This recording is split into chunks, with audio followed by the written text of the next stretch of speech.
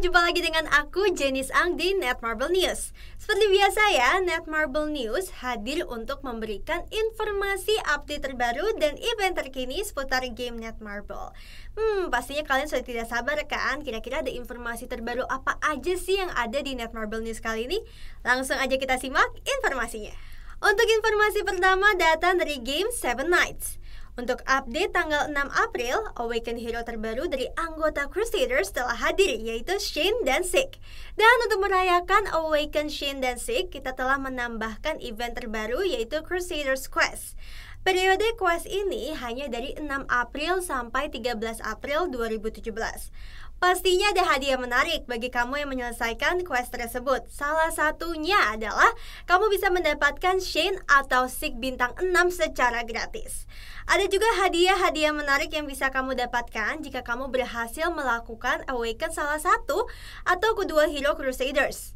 Nah, kostum terbaru juga telah hadir loh untuk Shane dan Sig yang dijual terbatas hanya dalam waktu satu minggu dari 6 April sampai 20 April 2017. Kemudian juga ada kejutan menarik di Summon Shop. Salah satunya yaitu event Summon X 4 Lords dan 4 Lords Package. Untuk event Summon X 4 Lords, kamu bisa mendapatkan Theo atau Karma hanya dengan melakukan summon sebanyak 5 kali di special event summon. Dan untuk event 4 Lords Package, kamu bisa langsung saja mendapatkan 4 Lords Selector bintang 4 dari special package. Selanjutnya juga ada event Drovina di mana kamu bisa mendapatkan Transcend Drovina dengan bermain di Adventure untuk satu kali per akun saja. Dan khusus untuk minggu ini ada event yang pastinya sudah kalian tunggu-tunggu yaitu diskon Topaz untuk biaya lepas item selama 6 April sampai 13 April 2017. So jangan sampai ketinggalan ya karena periode event ini terbatas. Update selanjutnya adalah peningkatan level cap hero hingga level 46 Sekarang kamu bisa meningkatkan hero jagoan kamu dan hero kolaborasi hingga level 46 Ikuti juga ya kisah selanjutnya dari Seven Nights karena ada update terbaru skenario episode 8 yang pastinya semakin seru Game selanjutnya adalah Let's Get Rich. Pada 4 April, Let's Get Rich merilis dice terbaru yaitu petok-petok dice dengan ability yang lebih tinggi dibandingkan dice sebelumnya. So, pastikan kamu upgrade dadu hingga maksimal ya untuk mendapatkan bonus stat sampai dadu selanjutnya dirilis. Selain itu, Let's Get Rich juga memperkenalkan sistem buff terbaru. Buff ini dapat membantu memperbesar kemungkinan untuk menang. Event buff mulai dari 4 sampai 25 April dan buff untuk 4 April yaitu dadu kontrol 5%, buff untuk 11 April yaitu gold hasil dari game dikalikan 2 dan buff tanggal 18 dan 15 April masih dirahasiakan.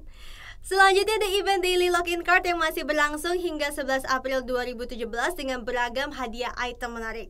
Dan pada hari ini, Let's Get Rich merilis pendant terbaru yaitu Balloon Villa. Dengan ability saat tiba di keliling dunia, chance langsung pindah ke area yang diinginkan dan bangun landmark. Selain itu tersedia juga event exchange di mana pemain bisa mendapatkan popular pendant. Dan kali ini tersedia juga sub ability dari Honors Light yang bisa didapatkan dengan menukar item material. Jangan lewatkan juga ya guys, itu Gold Rush dan ranking point yang nantinya akan dikalikan dua pada hari Senin dan Rabu di jam-jam tertentu. Silahkan melihat notis untuk info jadwal lebih lanjut. Cek juga penjualan terbatas untuk paket diamond dan jangan sampai kehabisan. Next ada informasi berikutnya yang datang dari Evil Bane Rise of Ravens. Dan masih mengenai perilisan Doomsday Weapon 2 dan Doomsday Clock Kamu masih bisa loh untuk ikut berpartisipasi dalam berbagai event perayaan perilisan Doomsday Weapon 2 dan Doomsday Clock Yaitu, yang pertama cukup tingkatkan level cap kamu dari level 59 sampai level 60 Dan kamu bisa mendapatkan Mythic Magic Weapon Selector Selanjutnya, kamu juga bisa mendapatkan hadiah 500 ribu gold dengan cara menaikkan level Heroic Doomsday kamu sampai level 30. Selanjutnya, kalau kamu melakukan draw Special Weapon Chest yang kali 11, kamu bisa mendapatkan salah satu magic weapon termasuk Doomsday Weapon 2.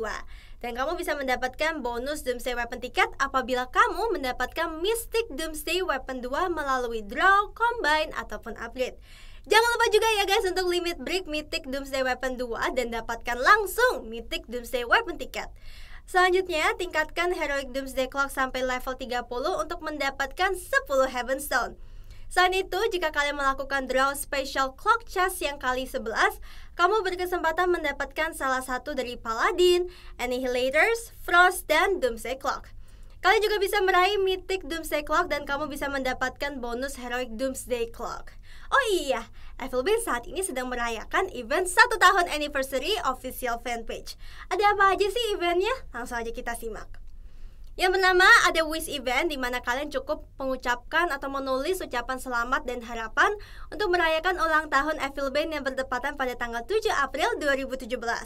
Periode ini hanya dari 7 April 2017 sampai 15 April 2017. Selanjutnya juga ada live streaming spesial satu tahun plus giveaway yang akan dilaksanakan pada 10 April 2017. Yuk ramai-ramai kita merayakan ulang tahun Evil Band bersama dengan Maman PD dan Mimin Vina dan juga raih hadiah yang melimpah pastinya. Selain itu juga ada event Conquer the Arena spesial satu tahun anniversary. Periode ini berlangsung dari 17 April 2017 hingga 24 April 2017. Persiapkan hero kalian untuk meraih rank 1 di arena dan kali ini kami memberikan hadiah melimpah untuk rank 10 besar di arena. Selain itu ada juga satu tahun anniversary lock-in event di mana kamu bisa mendapatkan total 50 rare wing tiket gratis dan caranya gampang banget. Kamu hanya perlu melakukan login setiap hari dan perharinya kamu akan mendapatkan 10 tiket. So, seru banget kan eventnya? Makanya, jangan lewatkan kesempatan ini ya untuk mendapatkan berbagai hadiah menarik. Langsung aja dicek fanpage Evil Bane Rise of Ravens untuk informasi tentang event selanjutnya. Selanjutnya, ada informasi update besar dari game Star Wars Force Arena yang telah melakukan pembaruan dan perubahan. Untuk yang pertama yaitu rating point dan level berdasarkan fraksi. Jadi kami akan membagi poin ranking kamu berdasarkan fraksi dan poin yang sudah kamu dapat akan diakumulasikan ke dalam rating point.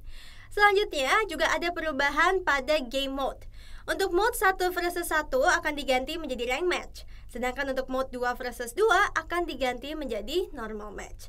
Di normal match 2 versi 2, kamu tidak perlu mengkhawatirkan rank kamu akan turun karena kamu akan bertemu dengan pemain yang seimbang. Next juga ada peningkatan dalam konten guild dan kini telah hadir misi baru yang harus dimainkan bersama anggota guild lainnya. Bekerja sama dan selesaikan tantangan tersebut agar kamu bisa membuka hadiah yang pastinya lebih besar lagi dan lebih menarik lagi.